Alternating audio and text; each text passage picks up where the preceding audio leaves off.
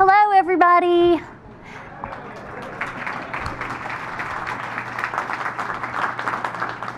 Welcome, and thank you for joining us here today. It's a really exciting day. I'm so excited about our topics. We're talking about 5G, and everyone here is involved in this race to 5G. It's really exciting.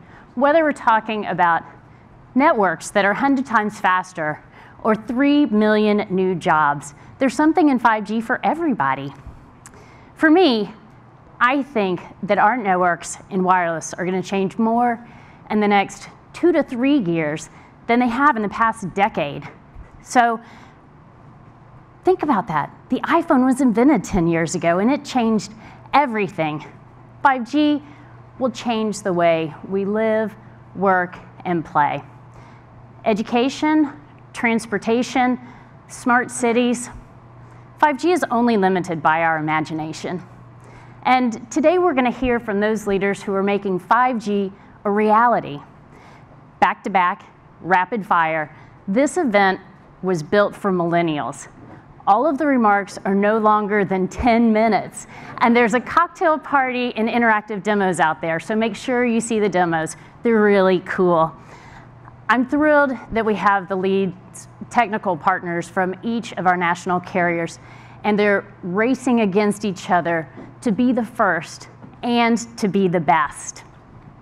Because 5G is a race, and all of you here are part of that race.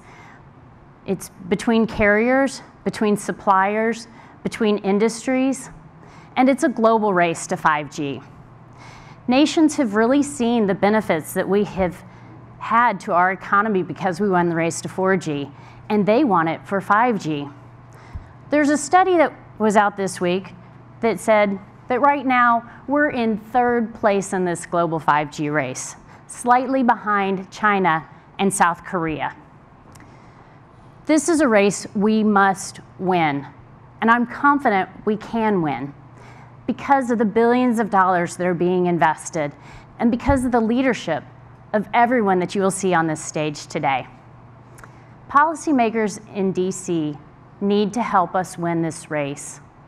We need hundreds of megahertz more of spectrum, particularly mid-band spectrum. And we need new rules for infrastructure at every level of government.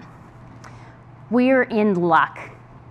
We have the right players around the table, from the administration to the FCC to leaders in Congress, our foremost wireless thinkers are here today, and they understand the power and the promise of 5G networks, and they know the reforms we need and have them teed up for action.